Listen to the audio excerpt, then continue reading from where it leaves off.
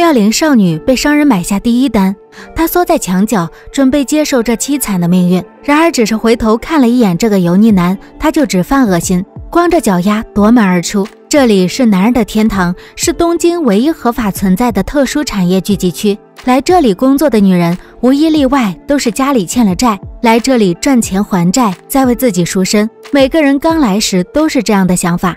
但在地狱待久了，他们还能做回以前的样子吗？少女九乃家里欠了债，被父亲卖到了吉原。经过一系列检查教育之后，九乃以七百日元的价格卖到了中梅楼。长相清纯的九乃很受老板娘的欢迎，先带着她给店里的三大花魁打招呼。他们分别是九里、由美和小花三人，业绩最高，是店里的顶梁柱，也是最有话语权的人。所有人都对他们毕恭毕敬。为首的九里对九奶很感兴趣，说他身上有种奇妙的香味，凑近使劲闻，其实那只是青春的味道。而九里已远离美好的东西太久，对九奶尤其喜欢。他看出九奶很有潜质，便收他为徒。九奶开始了训练，学成之后，他才能开始工作。此时的他还不知道这里的可怕之处。夜晚，店里的女人打扮艳丽，坐在了街上的橱窗里，等待游客挑选。而一旁的店员正大声介绍着他们，每个人都想被早点带走，好多挣一点钱。老板娘带九奶到楼上参观，告诉她这里的生存法则：这里的女人人前一套，人后一套，懂得如何花一份时间赚两份钱，也懂得如何摆脱自己不喜欢的客人。他们自有一套招人喜欢的话术。在这里，漂亮的女人不一定受欢迎。但懂得拿捏且自信的女人，工作起来一定得心应手。直到凌晨，楼上才安静下来。不管樱花盛开的时候多么美丽，腐烂时也会遭人人践踏。九里作为店里的头牌，同时也是最清醒的一个。他知道自己的风光日子不会太久，毕竟他已经不再年轻。而老板娘也已经商量着让九里腾出位置，他确实没什么优势了。这天，九奶又在接受训练，姐妹在她身上铺满白粉，九奶十分羞涩，紧张的心里直打鼓，而姐妹却对这样的生活很满足。毕竟待在老家，她只能顿顿吃马铃薯，来到这里，每天还能吃到白米饭。突然，一个男人披着棉被，手舞足蹈闯了进来，直接扑上九奶。九奶惊恐之余，连着扇了他几个大耳光，这可犯了大忌。在中梅楼中，九乃和其他女人都只是商品，而客人就是上帝。九里狠狠教训了九乃一顿，被打的男人过来劝和，说九里只是嫉妒九乃年轻美貌，滥用私刑。九里瞬间清醒，疯狂对九乃道歉。几月过去，九乃正式出师，店里为他举行了洗礼典礼，并为他起了艺名若曦。从此，若曦也成了橱窗里的一员。店员卖力地宣传着。总有人对他这样的新人感兴趣。碰巧这时店里来了几个大老板，几个花魁有意提拔若曦，便把他叫到席上，一起接受富商的挑选。最终选中的是一个留小胡子的老男人。酒里帮若曦整理好衣物，若曦绝望地走上楼，不得不接受自己的命运。然而在看到男人的满脸油光后，若曦还是打起了退堂鼓。她夺门而逃，身后的彪形大汉在身后狂追不舍。若曦一路跑到了河边，被几拨人团团围住。突然，路边一个男人喝住了他们。若曦趁机跳下河，男人也跟着跳了下去。随后，大汉也接连着跳了下去。众人把男人拉开，若曦则被带回了中梅楼。因为在这里，中梅楼是合法的，没人有立场阻止，就连警察也要为中梅楼提供帮助。若曦被捆了回去。本来他是要受一番惩罚的，但是九里心软。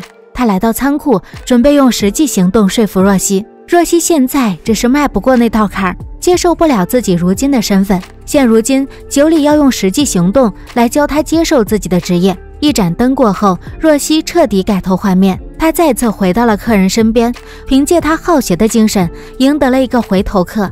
而这时，九里也攒够了钱，准备为自己赎身，离开这个是非之地。九里有一个学生朋友，这个学生向九里借钱交学费，九里慷慨的一口答应。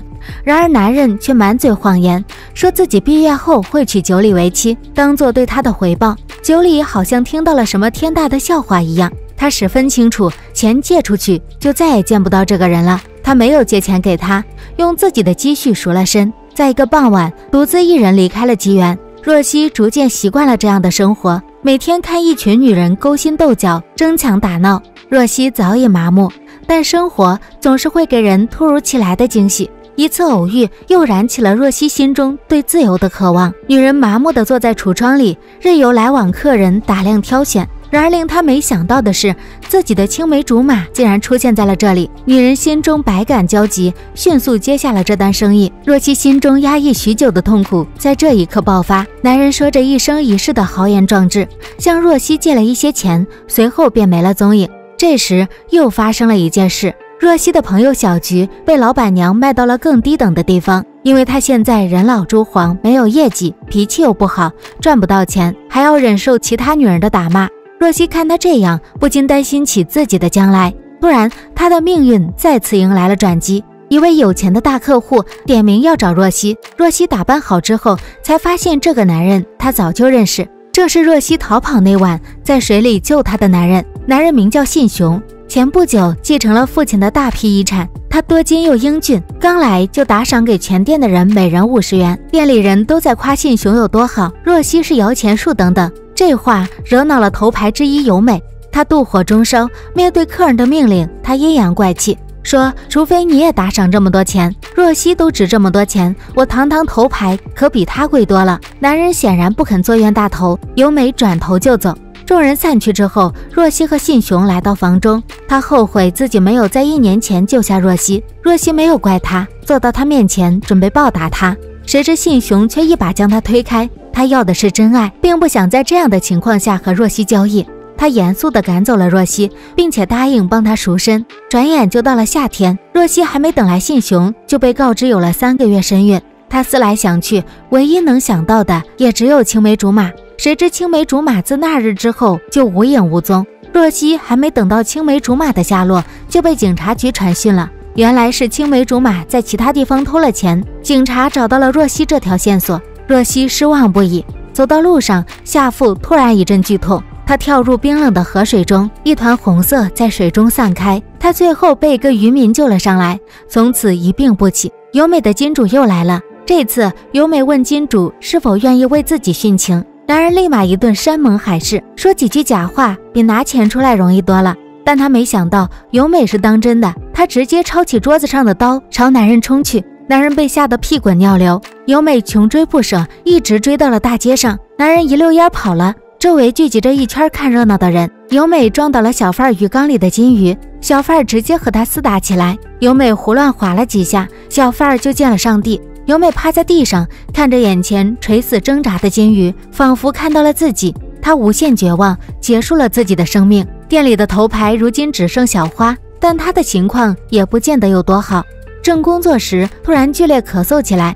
她已经病入膏肓，却不肯服输，死守着头牌的身份。为了面子，她还骗店里人说自己有一个在国外上学的弟弟，等弟弟学成归来，自己就能过上好日子了。如今小花病倒，弟弟需要学费，他朝若曦借钱。若曦心软，借了很多钱给他。然而若曦直到最后才知道，小花根本没有什么所谓的弟弟，这都是他为了面子编出来的。若曦一时愤怒不已，他最恨欺骗自己的人。经过一段时间的修养，若曦的身体也恢复了。信雄频繁来找她，却从来不肯接受她，甚至一次都没有抱过她，这让若曦感到很挫败。而在一众女人的耳濡目染之下，若曦也不得不为自己的未来做打算。富家公子爱上了卖艺女，这本是一段爱情佳话，谁知男人频频包场，却从不过夜，只把她当做自己的灵魂伴侣。他这样的态度，直接导致女人移情别恋。如今店里的头牌相继倒下，老板娘急于找一个新的头牌做店里的顶梁柱。她选中了若曦，并在几天后为她举行了上位仪式。她的艺名改成了小紫。紫被认为是这一行的顶级花魁，小紫非常得意，她享受着众星捧月般的感觉，而小花则显示出了巨大的落差。她疯疯癫癫地跑到了自己的房间，却发现这里已经变成了小紫的杂物间。她疯了，拿着刀划破了小紫的东西。小紫赶来，刚好看到这一幕，她十分气愤，正想上前理论，被信雄拦了回去。他痛恨小花对自己的欺骗，不停怒骂。信雄劝他把房间让给小花，但是小紫怎么都不愿意。这是他不断努力用自己最宝贵的东西换来的财富，就算是一间屋子，他也不能让给别人。信雄突然感觉小紫像变了一个人，他不知何时已经变得争强好胜。也许换了名字之后，他就再也不是以前的若曦了。小紫假装要离开，老板娘果然跪在地上求他留下，说他是店里唯一的希望。虚荣心作祟，小紫没有离开，她还以为自己在别人眼中是多么耀眼的存在，而实际上她只不过是一个工具罢了。小花躺在小紫的房间里，她神志不清，说着疯话，已经病入膏肓。第二天清晨，她就被装在木桶里抬了出去。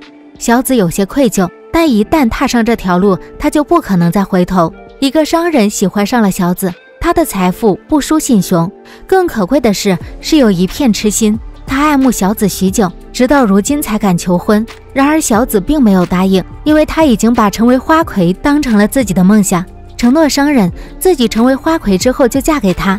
与此同时，信雄也找上了小紫，他拿出两千元交给了他。让他自己选择怎么用掉这笔钱，或者是当做嫁妆和自己结婚，或者是帮自己赎身嫁给信雄。他满脸期待，谁知小紫却想把这笔钱用作装饰明年的花魁道中，这是他如今唯一想要的东西。若即若离的信雄让他心里很痛苦，他总是怀疑自己。他问信雄能不能用这两千元钱换他一个拥抱，信雄拒绝了。来年春天，小紫盛装打扮走上了花魁道中。漫天飘落的樱花把她衬托得愈发美丽，人群围满了街道，小紫被簇拥着一步一摇，向众人展示自己的美丽。她洋洋得意，但老板娘却告诉她，信雄也来了。他没有来中梅楼，而是去了河边的一个小店。信雄爱上了这里的一个女子，这里虽然简陋脏乱，但女子身上纯真的气质吸引了他。比起小紫，他来这里的次数要更加频繁一些。小紫跑去见他，却被拦在外面。他又想得到荣誉，又想得到信雄的爱，但是他选择了荣誉之后，就永远失去了信雄。不久以后，小紫接受了商人的求婚，和他一起离开了中梅楼。与此同时，信雄正在小店里和心上人约会，他不肯接近小紫，却对这个女人格外呵护。两人沉浸在爱情中，没有预料到危险正在逼近，一场大火瞬间吞没了他们，沿着街道迅速蔓延开来。小紫在路上听到了消息，她放弃了一往情深的商人，义无反顾地冲了回去，却只看到了一片火海。从此以后，小紫失去了所有快乐，等待她的只有无尽的凄苦。